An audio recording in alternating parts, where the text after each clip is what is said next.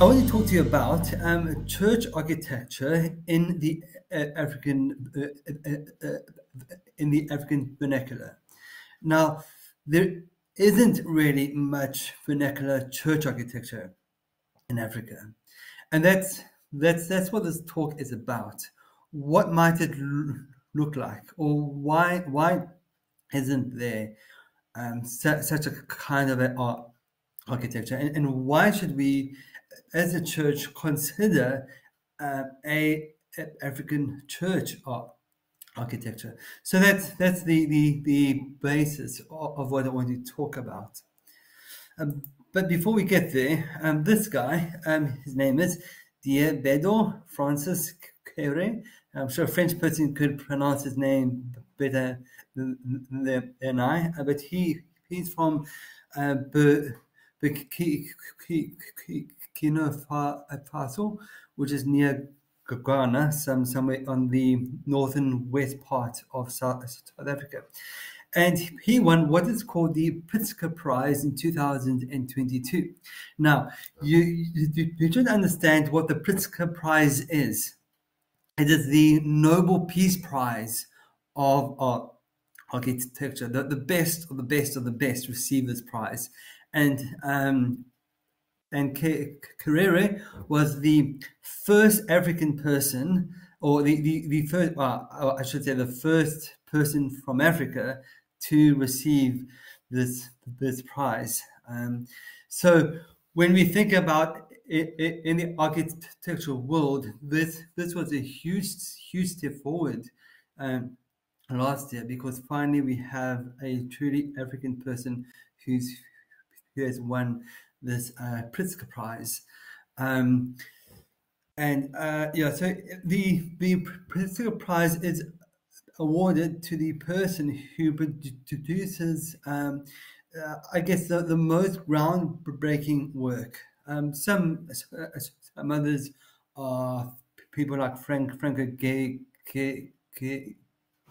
Gehry, Norman Foster, and a few others famous architects from from the West.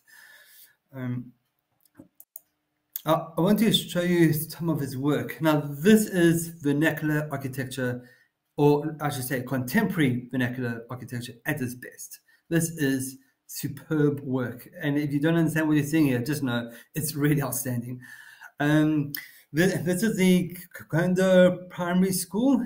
Um, and I can't remember if it was this one or, or something else that he did. But when I was in second year architecture, which was about 20 years ago, uh, I went to a conference and um, they they showed us some of his work. And there was a, a bit of a, a, like a short film about him. Um, and I think this may have been the one that they showed and that he, he spoke about. Um, but see, see, see how that, that roof just, just, just floats and it, it, it, in the air, and then you, you have those fine steel tr- trusses. Look at the, that, that that brickwork and how earth-like that brickwork is, and then look also at the openings. I'll talk about openings a bit, bit, bit later on, and those, those two like square openings, and the way it just sits on the side. It looks like it belongs there, right? This is good vernacular church, uh, not church architecture, just just good vernacular school architecture. Um, th this is a school as well. Um, again, note how it sits on the side. Look at the the, the vertical timberlets um, that that screens the uh, facade, and then those those co concrete what look like clerestories, those big square things that's that's actually I'm inspired by a, a school chair, you know, the, the, the chairs that that uh, children sit on, so so that those blocks are uh, upright and then it, it goes hot, hot, it goes. Let me try again. It goes horizontal, which you can't see here, but that's that's what inspired this. Um, but it just it just sits like it sits so well on the side. It it belongs there is used um, uh, some of the materials from the site, um, especially the uh, timber. And you, you can see some of the timber just lying there to the uh, left-hand side of, of the screen. This is, is another one of his works. I'm not sure where this this pro project um, is. Um, I'm not sure if it is in Africa or in England, um, but it, it still has that strong um, African vernacular style. Um, try try and guess what inspired this shape. Um, I'm sure you would have thought of those African hats that that that uh, African women some, sometimes wear. This this is what we would call a per, per, pavilion, serpentine per, pavilion. If you're in uh, first year architecture, this is the kind of thing that all students would de design as one of their first pro pro projects, so, some kind of uh, pavilion or sacred space. All right, I've got this thing on my um, I'm trying to hide this. How do I hide toolbars? There we go. It's better. Um, right. Then we have the Burkina Institute of of Technology (BIT). Makes you think of of MIT. Um, but again, look at how earthy this form of architecture looks. The uh, brickwork, the clay. Um, the uh, timber uh, uh, its roof, um, and then all the the BC ceiling, um, and it's it's it's got that that that, that deep sense of of place. All right, and then this one looks more uh, more like it could belong belong in the west. It is the National Park in Mali.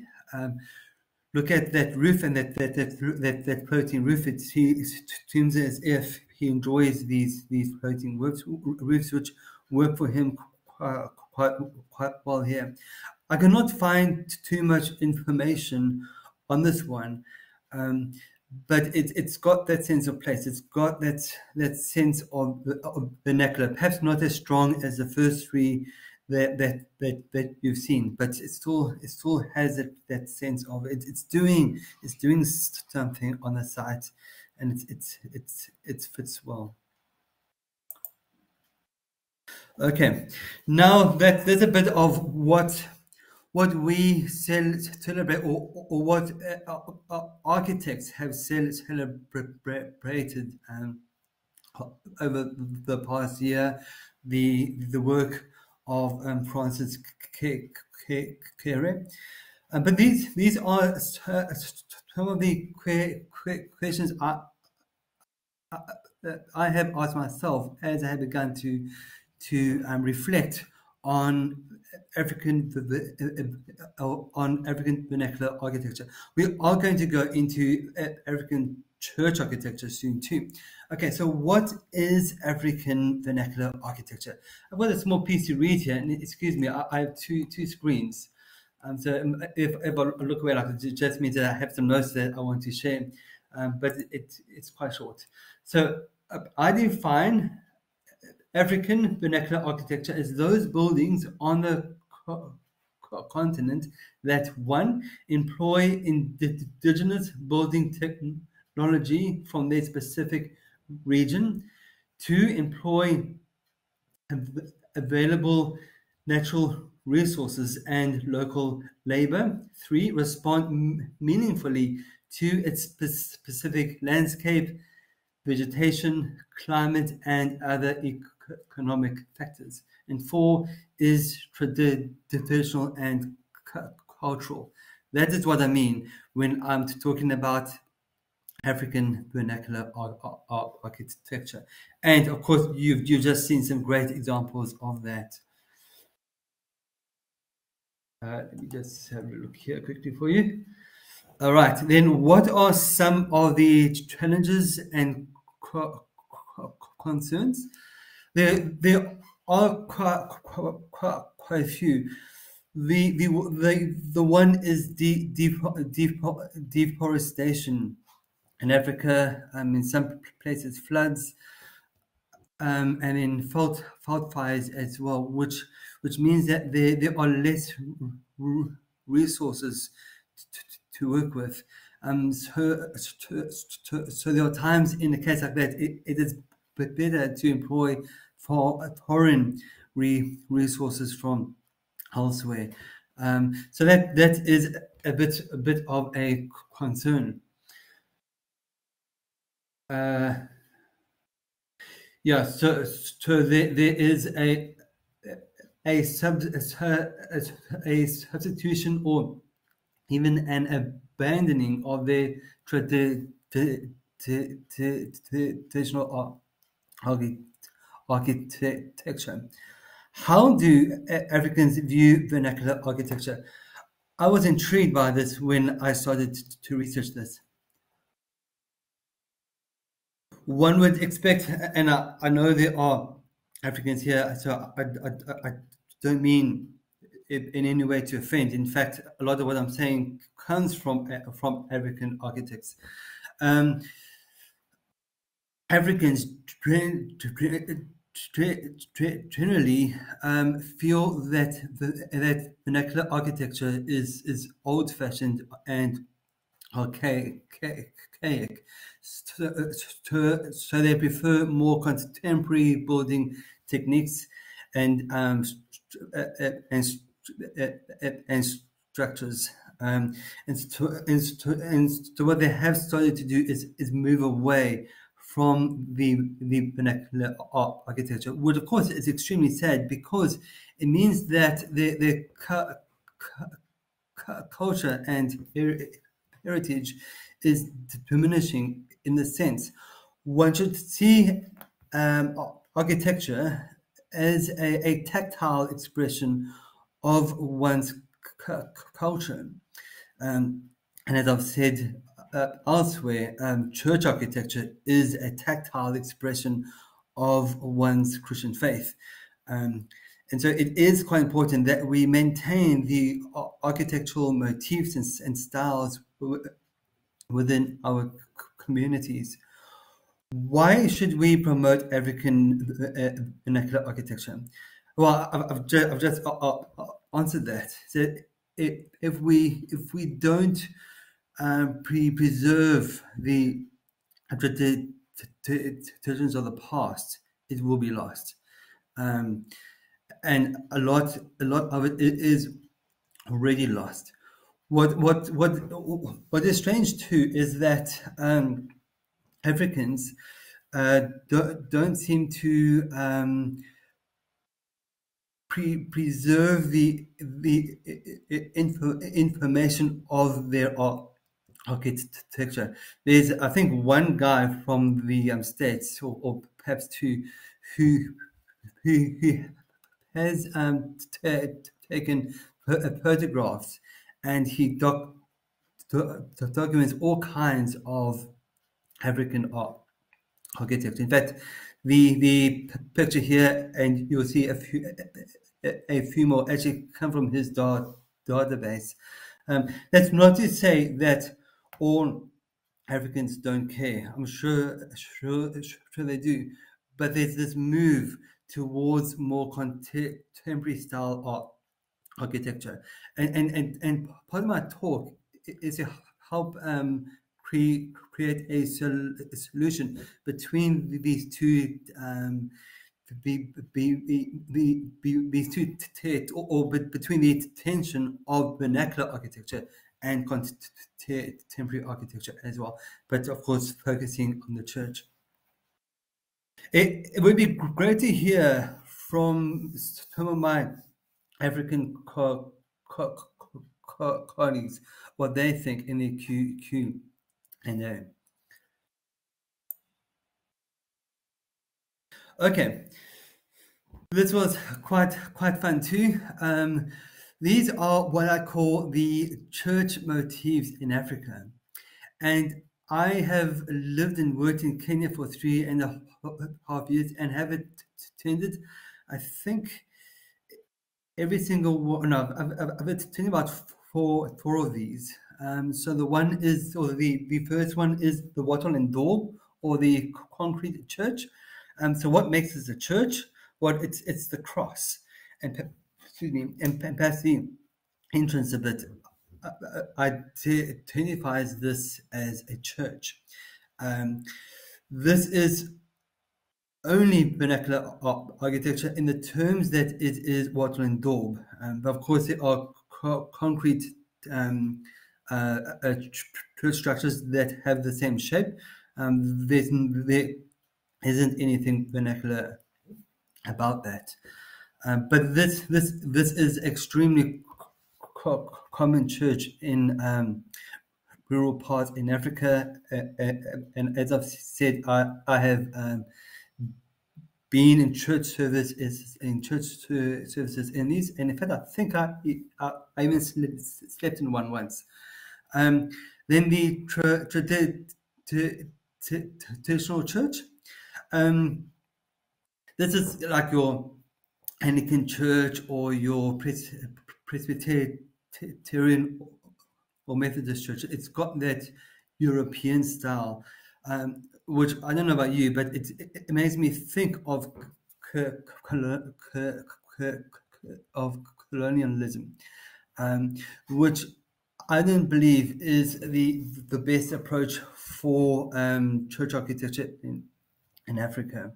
Um, it may have been workable um, in the past, um, but but but but still, then I'm sure some some of you would argue no, it it it, it wasn't ever workable. Um, again, uh, I've actually preached in a church similar to this in in Kenya, um, but it, it, it, has got the the the uh, bells, it's got the cross, the arch windows, and the arch door. Um, it looks like a church. Then we have what does not look like a church, what I call a shop-fronted church, and uh, I'm sure many of you have seen these. This one, this specific one is called the Triumphant Church of God. Um, I should read you these; they are quite fun. Um, I'm going to see if I can quickly find it for you. Uh, it won't take me long.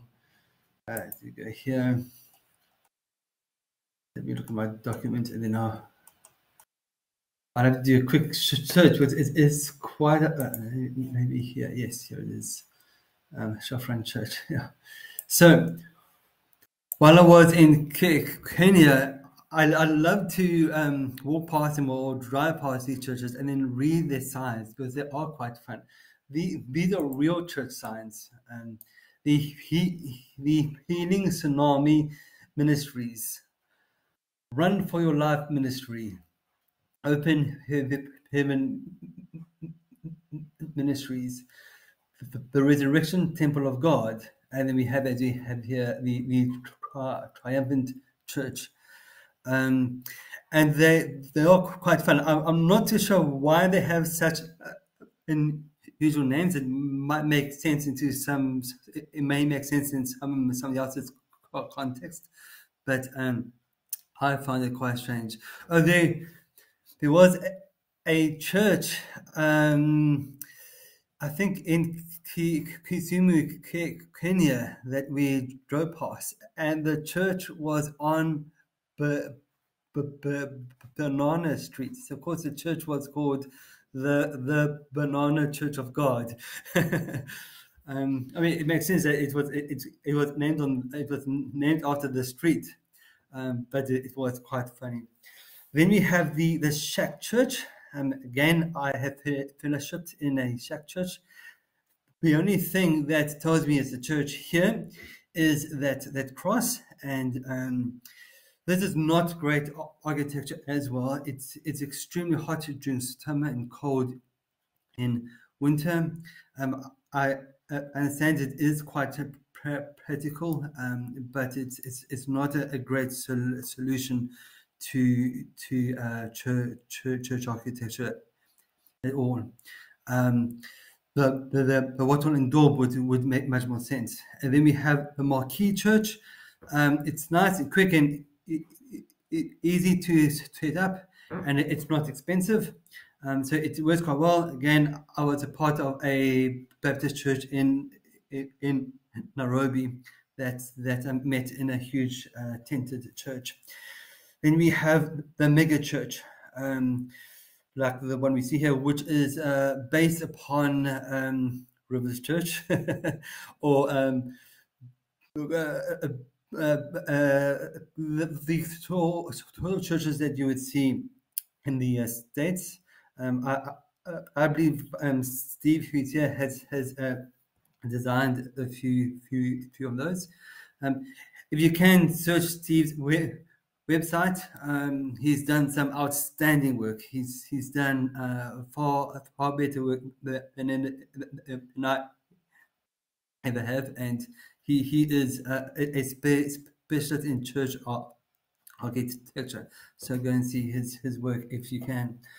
So this this is just an idea of those towers that I have found in Africa. But there's one more. It's this one here. Uh, okay, there we go. This is vernacular church architecture. Um, I'm not saying it's at its best, but it's a good example. Now, I'm, I'm not suggesting that we design churches like this for to, to, to, to today. I'm not saying that. But I am saying that there is at least one example um, of vernacular church architecture. It was built a long time ago. Um, these are uh, uh, rock-hewn uh, churches. This one is called Saint, Saint, George, in Ethiopia, um, which would which would obviously come from the Coptic Ethiopian church. And then to your right hand side, th- th- there is the the inside of this church. I can tell because just before I went to pre, pre, present, I was just going through my slides, and then I saw on the the second picture, bottom um, left, you can see that the keyhole, and then I, I matched it up with those keyholes in the picture on the, the left hand side. So that's how I know it's it's it is the same church. There are 11 of these kinds of chur- chur- churches in this part of the world. It is the only true vernacular church architecture I have found in Africa. Let that, let that sink in. Um, and then what, what I did was to look at the construction motifs of Sol- Solomon's temple I wanted to know what what does the temple teach us? Is it something that, that we could learn and then apply some of what I learned from that into a vernacular church architecture in Africa? And this is what I found. I found 12 um, motifs. So the first one is that the temple was built for the praise of God's name. As you know, um, King D- D- D- D- David had in mind to build it, um, but then Go- God said no, and so his son Sol- Sol- Solomon built it. Um, but the, the, the main purpose for the temple is the praise of God's name. Then there is, um, which is new to me, a hy- hybrid use of local and outsourced skilled labor. What, what surprised me was that King Solomon approached, just to make sure I get the guy's name right, um, King Hiram, I think it was, King Hir- Hiram, um, from from um, from uh, um, from the from the Phoenicians, um, which is northwest of Israel, and of course there's a great forest there um, where you have ced- ce- cedar wood. And so what Sol, Sol, Solomon did is that he made an agree, agreement with his king and, and asked him to supply the wood with skilled, with skilled labor, and he agreed to to to to uh, to feed his workers. And so I I always thought that the temple was made only by the he, he, the Hebrews. It's it's not true. A, a lot of the skilled labor and the and the craftsmen actually were outsourced. There certainly was a lot of uh, people from Israel who, who got, got involved. Um, yeah, so so you have a hybrid use of um, local and outsourced skilled labor and and materials as well, wood and stone especially. What what what they did with the wood is that they would cut the wood down, take them to the um the uh, ships, and then sell, sell them by, by by sea, and then dock at the port the, the port, and then bring the wood to to Jerusalem, and then begin construction there. The temple design was beautiful and sacred. Just read the text. The uh, text is um,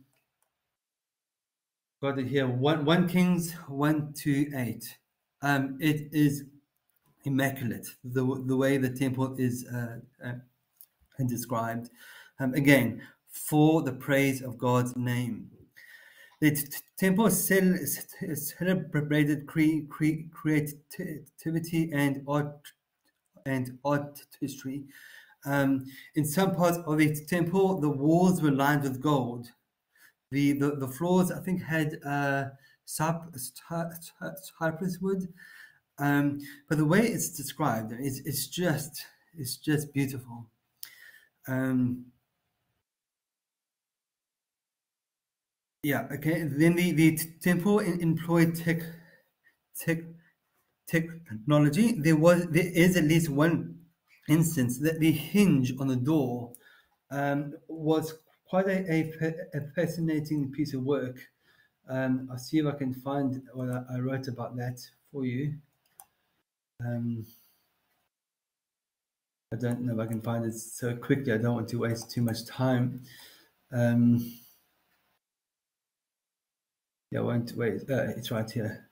So um, the, the, the the door turned on pivots. This or the, the word for this hinge is called Gililim. Um, and it, it, turned on pivots.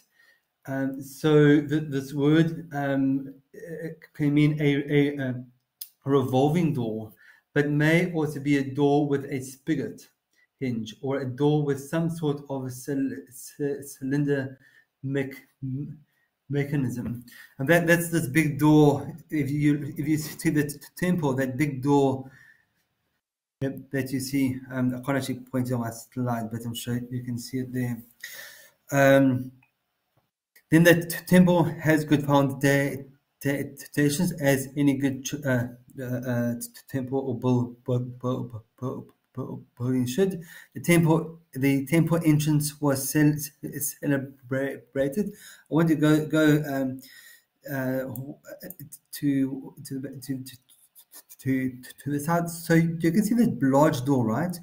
Then go to your left, and you can see a, a smaller door, and then what is uh, like a portico. Um, so you have this build-up of three, three threshold to the, the main part of the temple itself, but yet it is it's celebrated. But both both those doors are celebrated. Um, it makes me think what we should do to the entrance of, our churches. Um, the, the temple facilities and furniture were meticulously built.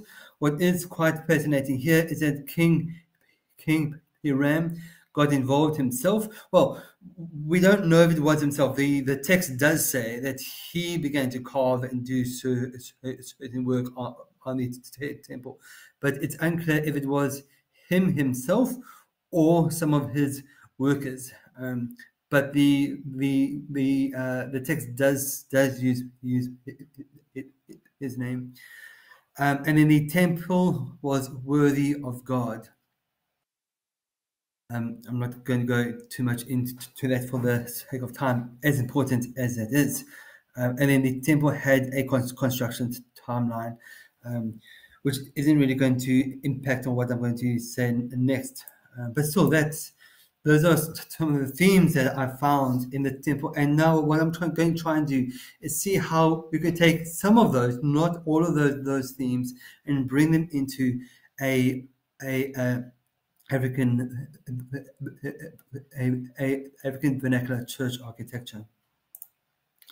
And here they are here. So um, when we design church architecture, we need to be intentional about the purpose of the church. What, what is a church building being built for? Um, yes, it is a place to, to, to, to, to worship, but what else? What, what else is it about? Um, what does the church architecture tell, or what, what story does your church architecture tell? Think, think about your own church. What, what story does your church building tell those who drive past it? The, the, the same should apply here.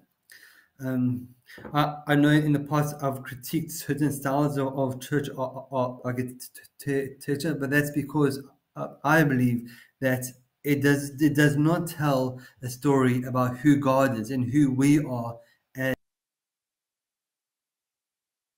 and it should it should tell a story to to to, to the world. Um, think think of your church architecture as a preaching tool if you like. Um, what is um, what I got from the temple is this next point hybrid tech, tech, tech, tech, hybrid technology, um, the use of both local and outsourced. Let me try again. Both um, local and outsourced local materials and um, labor.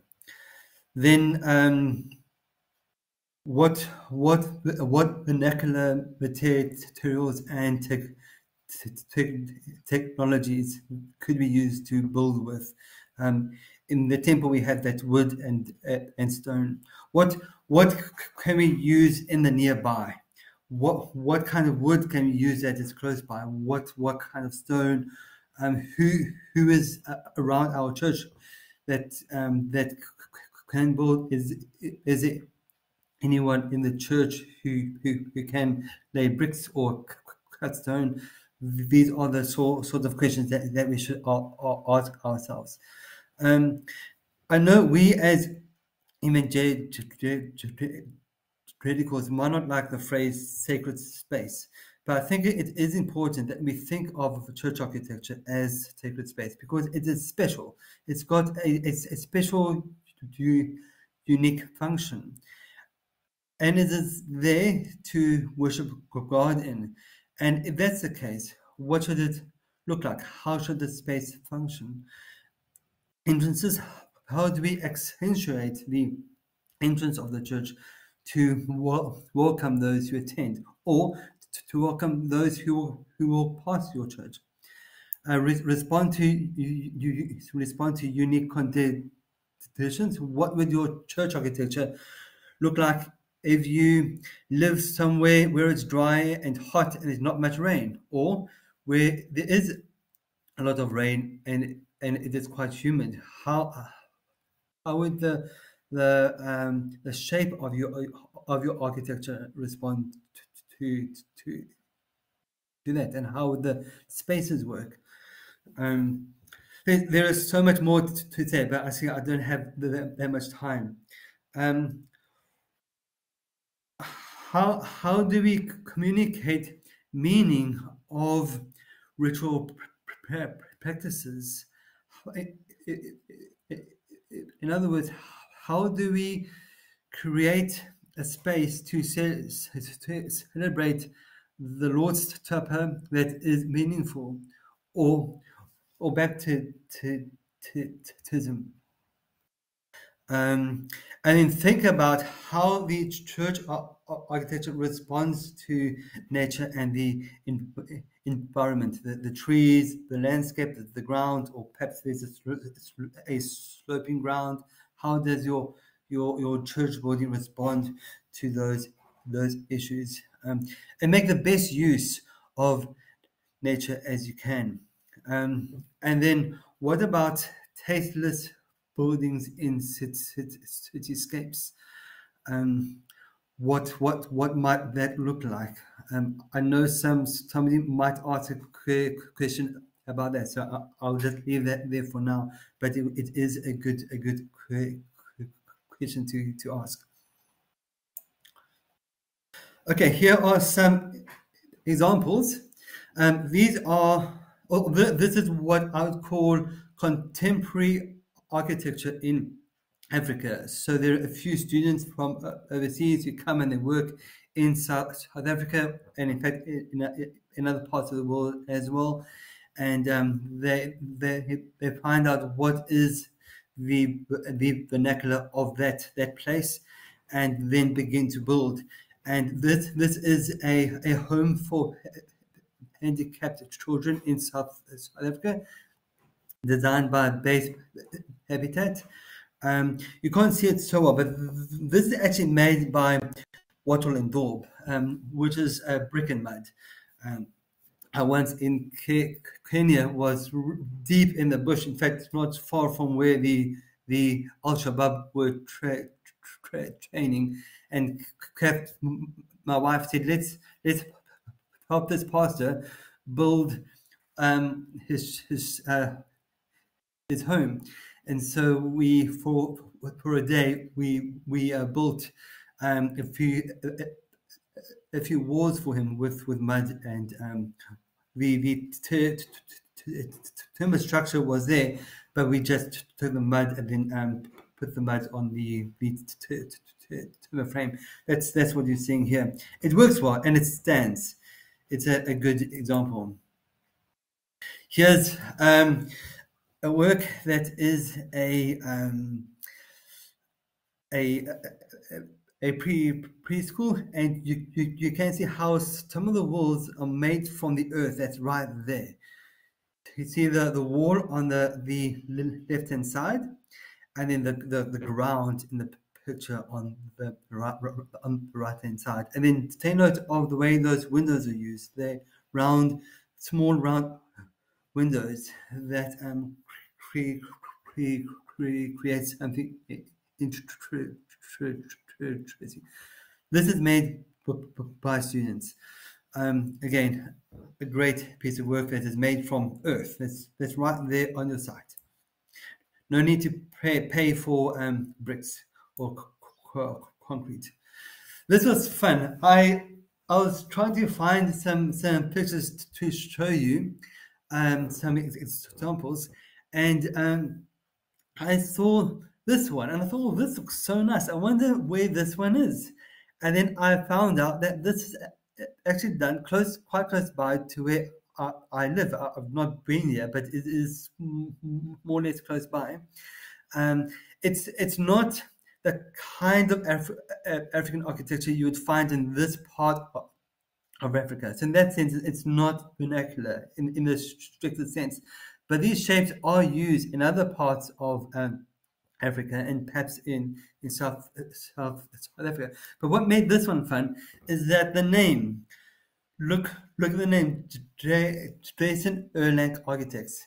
I worked with him in my first year. Um, he, he, he and I worked, worked as a team for the same pre, pre, pre, in the same practice for for, for, for my job. So it was um, fun to see his work, not not knowing that this was him, and then I said, "Oh, that, that's Jay, Jay, Jay, Jason's work." Um, so I have put it there. This, this is made just by sandbags. So it's, it's bags that you would buy, fill that with sand from the, the site, and then build the walls. Um, in this sense, it is vernacular architecture. I've got a few more slides and I know that time is almost up, but I would be keen to get through these next three three slides. And the one has text and um, two of them don't have that much text. Um, okay, so form aesthetics for African vernacular church architecture. What do you see here, this picture, is a great example of what I have learned through this paper. Now, this this picture is not an example of what vernacular is, but it is achieving those things that I am, am, am going to pick up on. Um, and, and, in that sense, it is a good example. Um, but ju just wait until the end. Um, so we we need to think what what what what things in church architecture should we think about to create a a, a good um, vernacular church architecture. The first one is floor layout. How how should we arrange the the seats in the church? Um, in this case, you can see that they're around. In some churches, you have a semicircle. In some churches, you have just a a, a a linear succession of seats of seats. Um, in the articles that I've read, they've said that that is now um, out of vogue and quite frankly does not work well. So we should start to think about how how do we arrange our seating. Um, and of course, this circle is a, a good option. Um, my the church I attend is not a good example um, on this, but if you've got a church space and that's what you have, well, that's what you have. But if you will create something new, let's think think out of the box. The the um, uh, I forget what it's called now. There was a, a something I wanted to pick up on, which I thought was interesting. Um, what is sometimes called the uh, where is it? The the fellowship hall is no longer a good idea. Um, in in contemporary church architecture, we we need to reinvent that. Um, again, I know Steve has done some some of that, and there are some some churches who who, who have already re- rethought how, how they might look. Um, then um, architectural form. How does your form relate to the, the, the context? Again, I spoke about the the harsh sun or rain, wind, that that whole sort of thing. The questions are coming in quite fast, so I better rush up. Um, openings, uh, windows. How will we um, put the windows in the church? Um, we use big ones, which can work too, or small, smaller ones, or a, or a pattern of small ones? If you see in this picture, try and find where the windows are. You have clear clear, clerestories at the top, and then below, if you look at the um, right hand side of the picture, you can see eight square, eight small square windows that look like they are, are, are stained glass. Well, I, I assume as that. I assume that it, it could obviously be pictures or some some kind of icon, but um, be be that as it may, it would work well as windows. Um, think about how your how parts of the the church uh, uh, opens up onto public space, so that those who walk past are intrigued and might want to explore and see see what is going on inside. There's a lot more that I have said, but I I'm just I just don't have time. Roof and sea ceilings. How would you create a roof that is vernacular? or a sea, sea ceiling. Um, here, here in this picture, you can see the way they have ribbed this roof. Um, it's beautifully done. And then right in the center, you, you, you, you have this um, stained glass light well. Um, and don't say that that cannot be done in vernacular architecture because I, I will show, show, you that it can be done and has been done on the next slide. Um, my, uh, my one boss, Andrew Thompson, once said to me, think of the roof as the fifth facade, because the, the roof is as important as the, the front facade, the, the, the, the, the, the, the front of any building. And then vernacular art, um, what, what kind of art could uh, what what kind of art does the culture have that we could employ and make you, you do something again in this picture Um, you can see that there's there are some artworks on the sides of the church. As I said, this picture is actually from a, a church in in England, but it's doing what I am talking about. Um, and then um, exterior space is, I should say, almost as important as the internal space. How are we going to arrange the external space? How is it going to invite people into the church building? Does the exterior space have a place to meet and for kids to play? Think, think, think about that as you explore vernacular church, architecture. Um, okay, so um, this uh, one last look of look at this. There's more I could say like about lights and sounds. Um, I mean light and audio, but I'm not going to have a chance to do that. Okay, so the picture on the left hand side is from England, right? But look at the picture on the right hand side. This is the King's Hut in Rwanda. We can create vernacular church architecture, large spaces. It can be done. I, I like this picture because it's it's got some of the architectural elements that you see in the picture on the left hand side. Look at the um, that that ribbed sea, sea, sea, ceiling, and then compare that to the king's hut. Look at those vertical um, posts that hold the roof up you've got the same in the um, in the cathedral. Look at that light well. There's that. It's it's a lot smaller, of course, but it's got a, a light well, as we see in the picture on the left hand side. So, all this to say that if we have great vernacular church architecture, I mean, not not let me um,